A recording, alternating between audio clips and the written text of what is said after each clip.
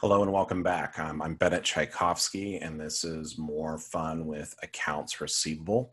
Uh, this is we're going to be doing a multi-year problem. So my disclaimer and copyright notice, the information and opinions in this presentation are those of the author only and not the author's employers or affiliated organizations, including but not limited to Irvine Valley College, the South Orange County Community College District, or Chapman University. The presentation is for educational purposes only and does not constitute any legal or accounting advice whatsoever. This presentation is copyright 2008 to 2019 by Bennett Tchaikovsky. All rights are reserved. Any distribution is strictly prohibited. So what we're going to be doing right now is a multiple year accounts receivable problem. And this, I really like this way of doing it because oftentimes, and everything we've been doing before, we've only really been focused on something that's happening within a year instead of saying, well, what happens in 2019 and what happens in 2020. So we're going to be doing this multiple year accounts receivable question. And the way I like to structure this is that for, say, for example, here, uh, requirements, um, I'm going to say we'll determine the amount of bad debt expense, the ending balances, and the allowance for doubtful accounts. And we'll also kind of throw something else in here and the ending accounts receivable balance. So this is a question we're going to be going through and doing today or tonight or wherever you are. Um, and let's just say as well as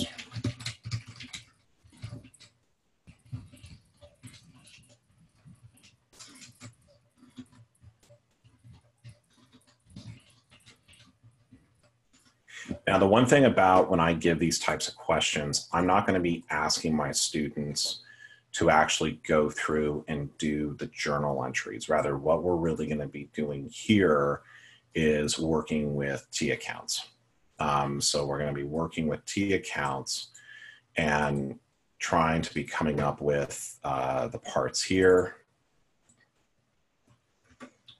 Okay. So we're going to be going through this. And when we're doing this here, what we are going to have is we're going to have two large T accounts. One is going to be for accounts receivable. And then our other one is going to be here for the allowance for doubtful accounts. And I think one of the things I've always struggled about, and this will say is going to be for 2019, one of the things I, have always kind of struggled about here is that, you know, how do you make this a little bit more interesting? Well, if you do it over multiple periods, it gets very interesting, as we'll see just in a moment. So we have during 2019, Oilers started their business. Um, and by the way, the Oilers are a minor at the University of Findlay Oilers, minor A um, Huntington Valley Little League team that's going to do awesome this year. So there you go. So during 2019, Oilers Inc. started business and had the following transactions during 2019. So they had a beginning balance here in receivables and a beginning balance here in their allowance for doubtful accounts of zero. And remember, this allowance for doubtful accounts is a contra asset account, will typically have a credit balance. So here had 600,000 of credit sales. So this is here going to be 600,000. And We'll call this A. Okay, now again, you don't have to go through here. I'm not, I don't have to debit accounts receivable and credit sales. What we're being asked for in these questions is what is the ending AR balance? What is the ending allowance balance? And then what is going to be the bad entry for bad debt expense? So here I collected 250,000 of the $600,000 in accounts receivable. So this is B collection. Now I wrote off a $10,000 receivable from Jayhawks. So when I write off a receivable, right, I've got a credit accounts receivable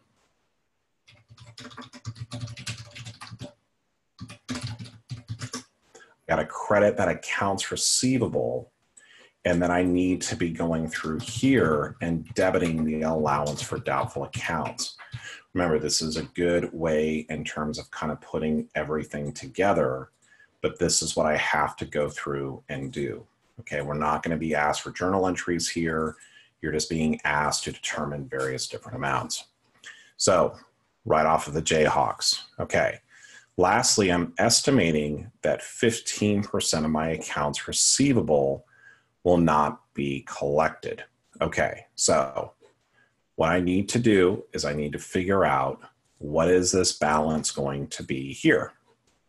And in order to figure this out, what I first need to do is to figure out what is my ending balance in accounts receivable. So right here, I've got total debits of 600,000, total credits of 260, right? The 10,000 write off, I credit accounts receivable when I'm writing it off, and then I'm debiting the, or excuse me, crediting receivables for the cash I collected. So here my ending balance and accounts receivable is 340,000. Now it's telling me that I'm estimating that 15% of these receivables will not be collected. So what I'm going to do is I'm going to take this 340, multiply it by 15%, and I'm going to get 51,000. So my ending balance and accounts receivable is going to be 340. My ending balance and the allowance for doubtful accounts is going to be 51,000. However, what I now need to figure out is well, does this T account balance? And the answer is no. So what do I need to do to make this T account balance? Well, this is going to be my bad debt expense. So if I have here 0 plus x, which we'll call the yellow square, minus 10,000 equals 51,000, I'm going to get x equals 61,000. So if I take 61,000 here, minus 10,000 here, I'm going to get 51,000. So my amount of bad debt expense will be $61,000. So my bad debt expense is going to be a debit here of 61,000. My accounts receivable balance debit is going to be 340,000 and my allowance for doubtful accounts, which will have a credit balance, will be 51,000. Okay. So I've done that for the first year. Now I go to 2020. And when I do this, I want to bring up some new T accounts because this is a new year. So I want to bring up some new T accounts. Now, as I go through and I look at this here for 2020, what's really different about this is I now have beginning balances. So here, when I'm looking at my allowance for doubtful accounts, my beginning balance is no longer going to be zero.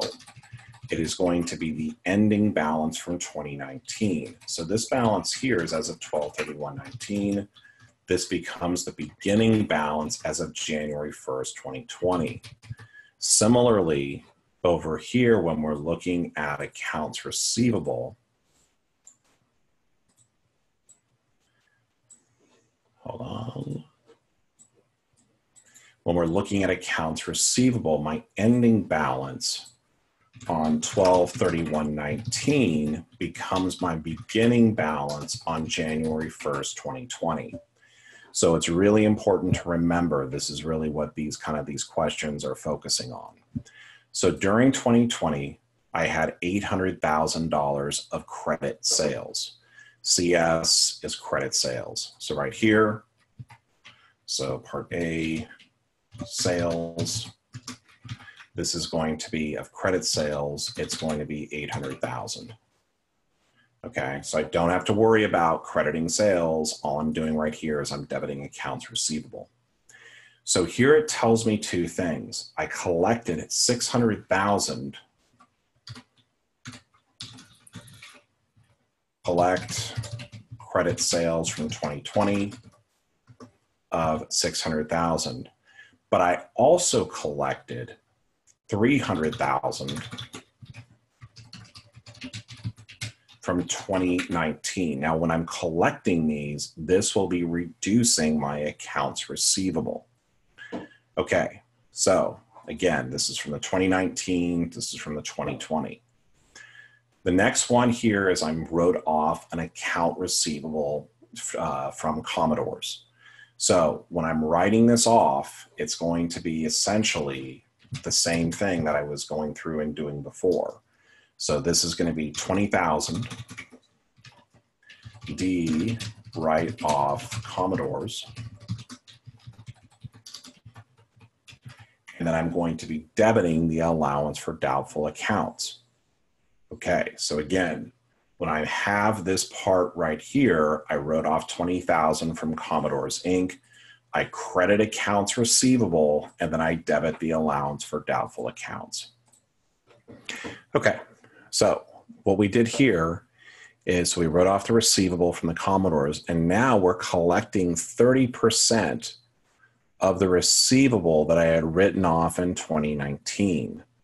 So here I wrote off 10,000. I'm collecting 30% of it. So when we go back and we look at the journal entry, so when we're writing off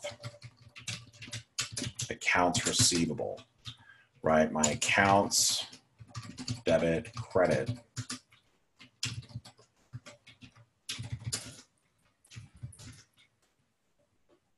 Now space this out a little bit more.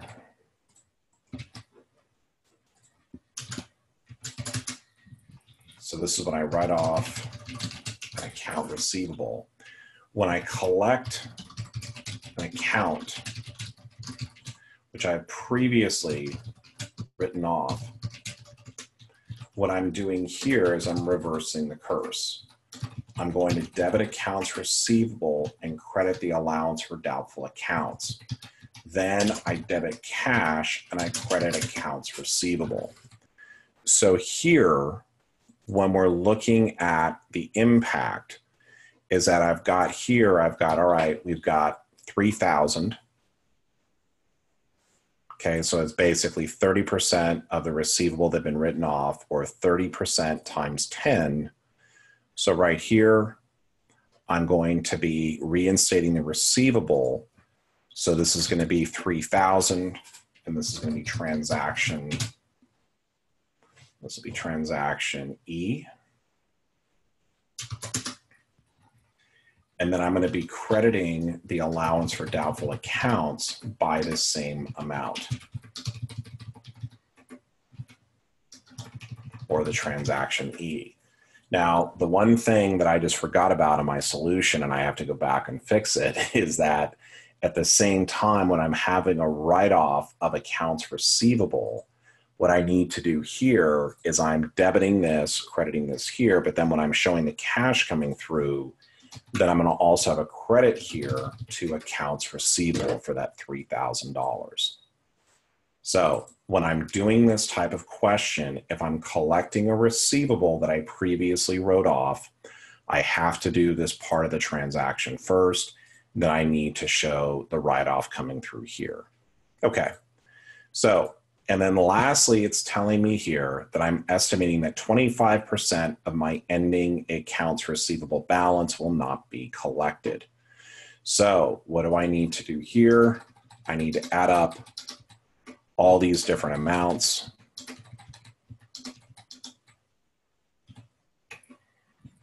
And I'm coming up with an ending accounts receivable balance of 220,000. Now, I'm being told that 25% of my ending accounts receivable balance will not be collected. So this right here is going to be 25%. 25%. So what I'm doing here is I'm coming up with this 55,000, which is going to be 25% of the $220,000 balance. So that's where this number is coming from. I have to compute ending accounts receivable because this is telling me of the estimated that it's OI estimated that 25% of its ending accounts receivable balance would not be collected. So here I've got 55,000, which is 25% of the 220. Now, the last thing I need to do here in terms of this question is to come up with what exactly is going to be my bad debt expense. Okay, or what am I going to be debiting bad debt expense? I credit the allowance for doubtful accounts. So this one here is going to be 51,000 plus 3,000 plus X minus 20 is going to give me 55. So what this is here is going to be 34 plus X is going to be 55,000. X is going to be equal to 21,000. So what I want to do here, if I'm saying that this is 21,000, is this actually correct? Well, if I take 51 plus 3 plus 21 minus 20,000, I get 55,000. So for this question right here, again, I would be asking for three things. And this is for 2019, 2019, and 2019. Here for 2020, what these balances would be the allow the credit to the allowance for doubtful accounts would be 55,000 my um, bad debt expense or something my accounts receivable. And then my bad debt expense here would be 21,000 so how do i make this question more difficult? I can throw on another year. So but this is a great way to make sure you have an understanding in terms of what goes on in the t accounts it also forces you to kind of think through and saying, okay, what happens at the end of this year that I go into next year? So I want to thank you so much for joining me here today. Uh, don't forget to like and subscribe, and I will see you on the next video. Have a great one.